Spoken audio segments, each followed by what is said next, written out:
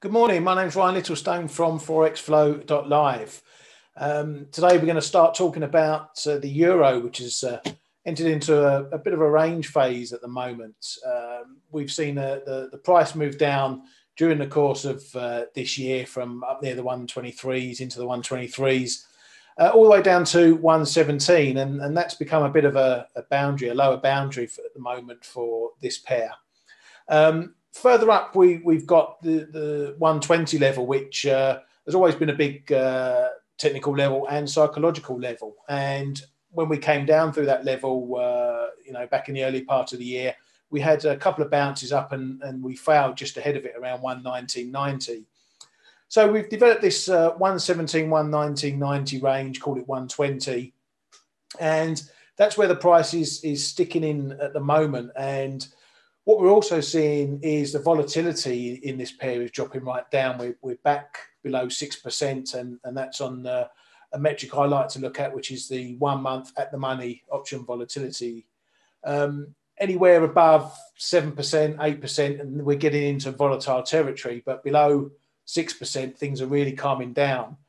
So we're seeing this range here 117, 120, and, and with this lower volatility, there's a good chance that we're going to see that range hold unless we get some big news.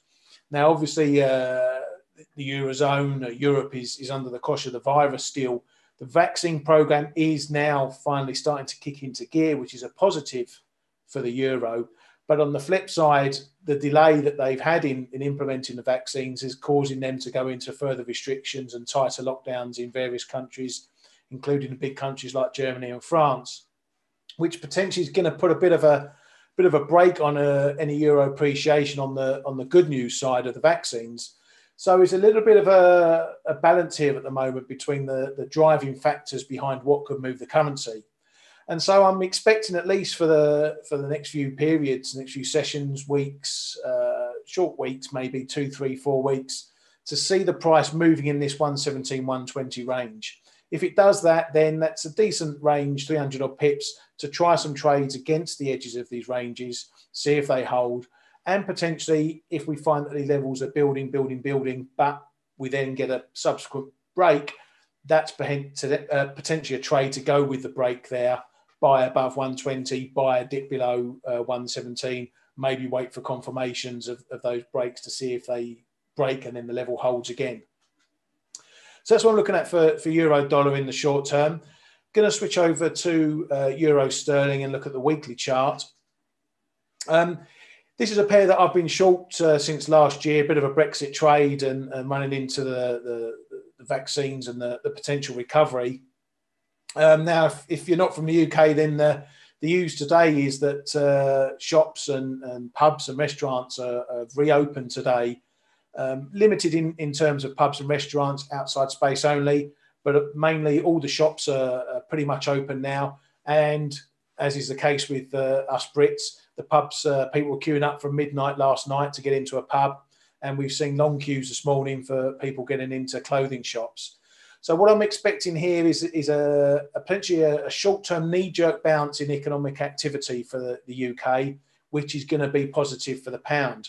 Again, we're seeing a bit of a range trade here in, in euro sterling. We came down through uh, a fairly big level at 85, uh, 50, 60. Um, got down here into the 85s, just bit below the, the 85s there, but we've seen a strong bounce there. Now we're, we're finding trouble into the 87 mark. Um, we've got a big of a, a bit of a bigger technical level around about 87, sort of 35, 50. That's an area to watch. Again, we could see some range trading. But for the next few weeks, I'm looking for a big economic bounce in the UK, at least in the retail side. And that's potentially going to give the, the pound another lift. So we could see a, a return to those lows down to the 85s and potentially a break under, which would then maybe target the low 83s down to 82. So that's what I'm looking at for these two pairs at the moment pound, the euro, and the dollar, those sides. Um, it's going to be an interesting week, no doubt. And as always, I wish you luck with your trading.